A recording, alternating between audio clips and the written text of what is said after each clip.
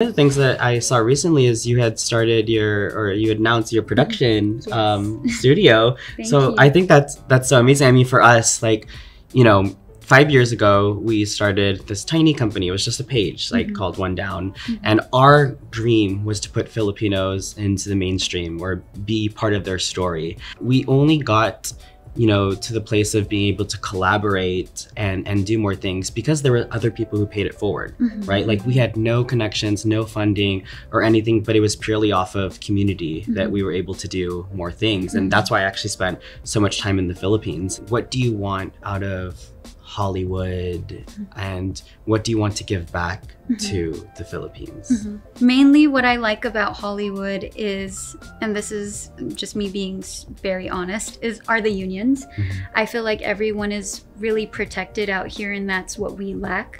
We um, we lack like an organization that will support creatives and their interests, so that everything is progressive, so that everybody is constantly getting better, so that everybody can do their jobs properly.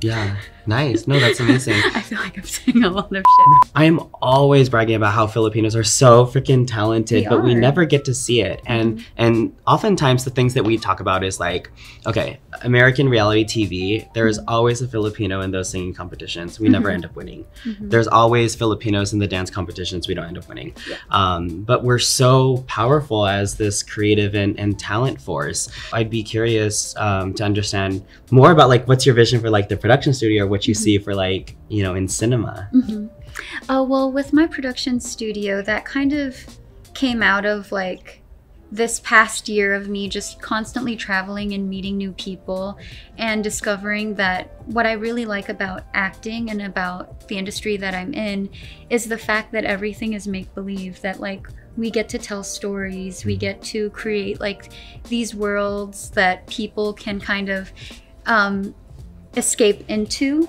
And um, that's when after like sharing my story so many times to different people um, i came up with one concept that is very near and dear and close to my heart that came from like a person a place of personal experience and um, someone took interest in, in that story and was like you got to create a movie out of this or a tv show. And i was like really? You think that's interesting? He was like it's the most interesting I, thing i've ever heard in my life. And that's when i realized like oh i that's what i like. I like storytelling. I like um, finding inspiration in like everyday life and everyday people uh, ordinary people and like just bringing their stories into into the spotlight and sharing it with the world trying to inspire people and my goal for my production studio specifically in the philippines is again um, i just want to be able to bring back all my learnings and Mhm. resources that I, and connections that I'm able to build while traveling, hopefully here in LA, maybe in Korea, and bring that back home and and try to expand like everybody else's network. Yeah.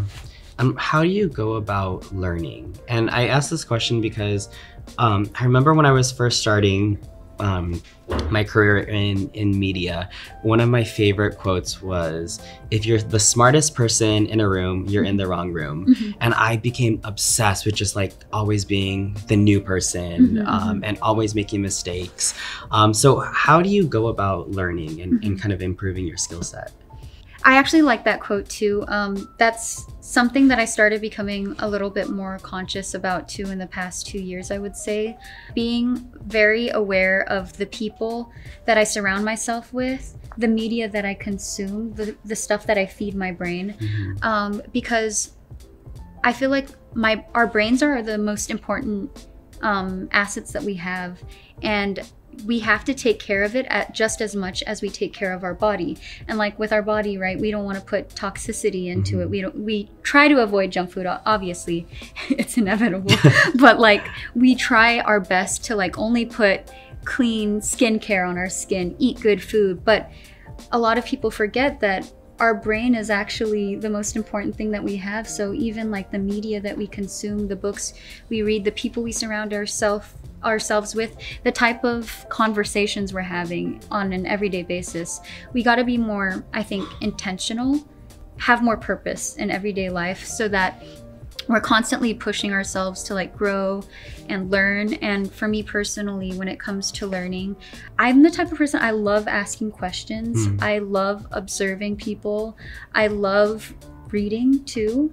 Um, and i think actually I, I one thing i noticed especially on the internet is a lot of people don't read nowadays. I noticed that because like it's so easy to create clickbaity headlines Mm, I know what you mean. and everybody believes it right away. And i'm like did you guys not read the article? Because the the headline is kind of questionable but the article itself is where the actual message and content is. And people just don't read anymore. They avoid it. That's what i try to do. I try to read a lot. The hard thing about you know being in media is attention is is everything and i think sometimes there's that discussion Mhm. of do you sacrifice you know quality for the sake of views Mhm. attention etc but i think one of the other things is like we were so passionate about talking about things that no one was comfortable talking about Mhm. like our first article that was huge was talking about t- addressing toxic behaviors in filipino families Okay. and like millions of people were talking about this one article Mhm. um,